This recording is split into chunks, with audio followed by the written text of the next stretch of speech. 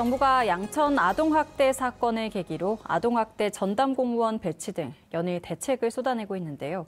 하지만 정작 현장에서는 인력 부족과 과도한 업무 부담으로 기피 현상까지 벌어지고 있습니다. 김호정 기자가 취재했습니다. 지난해 10월부터 넉 달째 아동학대 업무를 전담하는 공무원 A씨.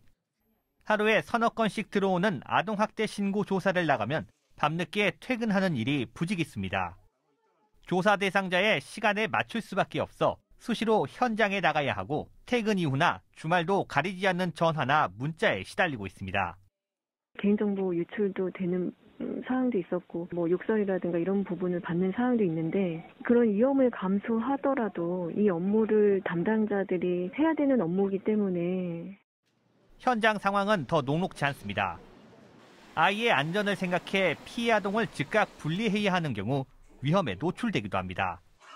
분리 하시는 부모님들이 대부분 그래요 우리 아이 데려가세요 이렇게 순순히 아이를 내어주진 않거든요. 그래서 들려고 하셨던 분도 계셨고 경찰이 이제 들려고 할 때 제지를 해서 실질적으로 드시지는 않았지만 꺼내시려고 하셨었.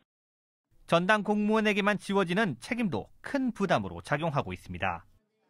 특히 막상 잘잘못을 따지는 과정이 되면 현장 공무원에게 책임이 떠넘겨질 수밖에 없는 구조라는 겁니다.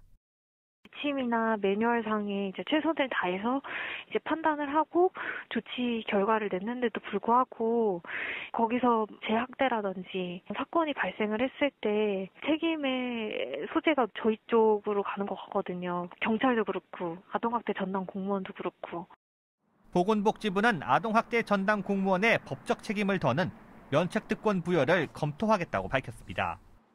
즉각 분리 등 적극적인 현장 조치가 대응 지침과 함께 합리적인 판단에 근거해 이루어진 경우에는 현장이 현장 인력이 민 형사상 책임을 부담하지 않는다는 법적 근거 마련도 검토하여 신속하고 적극적인 대응을 지원하고자 합니다. 하지만 전담 공무원 제도에 적용하기에는 현실적인 한계를 지적하는 목소리가 나오고 있습니다.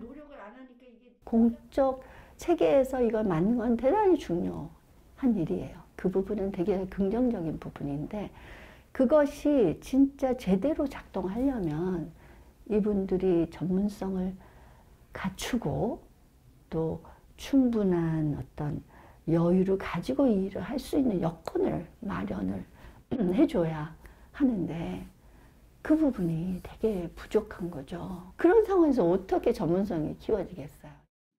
전문가들은 풍부한 인력 배치를 통해 아동학대 사례 경험을 공유하고 지원하는 동시에 전문성 향상을 위한 장기적인 시스템 마련이 시급하다고 강조하고 있습니다. TBS 김호정입니다.